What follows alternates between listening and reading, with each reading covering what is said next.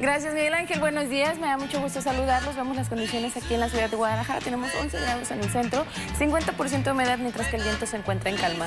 Ahora vemos en la imagen de satélite la masa de aire frío que impulsa el sistema frontal número 11, el cual ya se encuentra como en estado de disipación en el sureste del país. Pero esta masa de aire frío estará ocasionando también vientos fuertes en el sureste del país y algunas lluvias para que tomen muchas precauciones. Tenemos también un ciclón tropical en aguas del Mar Caribe para que tomen en cuenta. Vemos como la amplia nubosidad estará generando fuertes lluvias en la península de Yucatán. Por lo pronto, para el resto del país continúa el cielo despejado. Vemos hoy una temperatura máxima de hasta 40, con una mínima de 22 para el día de mañana. Monterrey 28, Zacatecas amanecen solamente con 7 debido al paso de, esta, de este sistema frontal.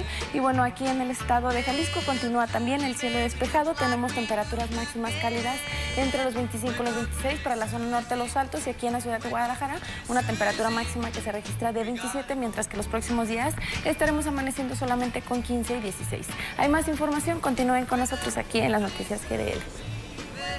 Vamos nuevamente con toda la información de las calles. Vemos a través de la aplicación Waze, nos reportan que hay un accidente en la calle de Aquiles Cerdán en su Cruz Pintas con 91 puntos de de partículas suspendidas. Al momento en esa zona, la Secretaría del Medio Ambiente nos reporta que en promedio en toda la zona metropolitana la calidad del aire es buena. Hay más información, continúen con nosotros.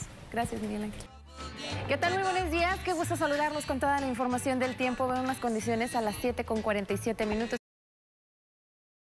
aquí en la ciudad de Guadalajara. Tenemos 11 grados en el centro, 63% de humedad.